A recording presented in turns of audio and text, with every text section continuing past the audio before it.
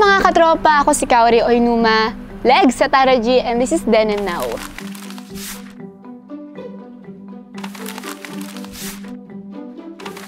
Five years ago, 16 ako. So, nung bata ako, ang tingin ko nun, akala ko pagka nakilala ko na agad, pag nakasama ko na agad, sila na yung panghabang buhay. Kasi close na kami, ang agad-agad eh. Pero ngayon, okay na yung konti. Basta totoo, hindi mo kailangan ng everyday na connection. Yun na, natu- napatunayan ko yun sa mga friends sa Japan kasi hindi kami madalas magkita.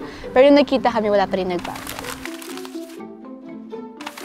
Ang pinaka-goal ko lang talaga noon makagraduate. So five years ago, sabi ko, pag, pagkatapos ko ng senior high school sa Japan, magka-college ako sa Pilipinas. So Pilipinas pa rin yung uwi ko. And then now, ngayon goal ko, ah, maging successful kung nasan ako ngayon. Which is, andito ako ngayon sa industry and ando pa rin yung goal ko, pero siguro nadagdagan. Five years ago, ang definition ko ng successful, basta makagraduate ako. Kasi yun yung laging gusto sa akin ng parents ko. So, akala ko, pag nakagraduate ako, successful na ako. Pero ngayon, merong nakagraduate ka man, pero hindi ka masaya sa course mo. Merong kasing ganun minsan eh.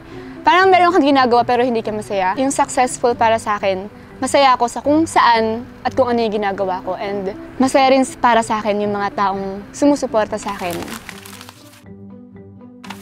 Ang thoughts ko sa bashers, five years ago, dapat pansinin mo sila kasi sa sobrang kabaitan ko, feeling ko, minsan tama yung sinasabi nila sa akin na kailangan ganito ka, ganito ka, ganyan ka. Pero ngayon na-realize ko na siguro minsan tama sila, pero na-realize ko na pagtanto ko na hindi lahat ng criticism ay okay para sa akin, ay hindi lahat maganda. So piliin mo lang kung ano yung sa tingin mo makakabuti sa'yo.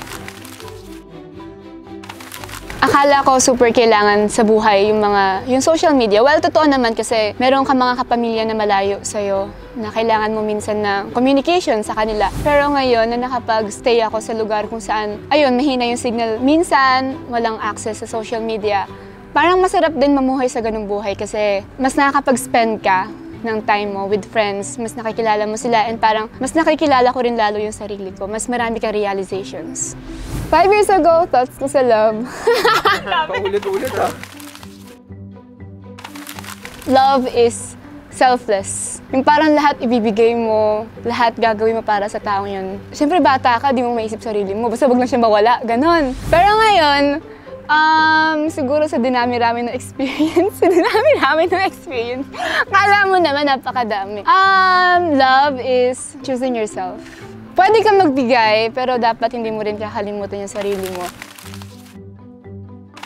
Siyempre, akala mo yun na yun. So, hindi ka na makakahanap pa ng mas better sa kanya na mas, na mas, basta mas sa kanya.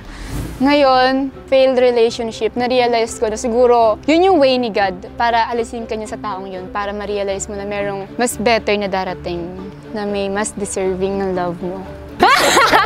Ah,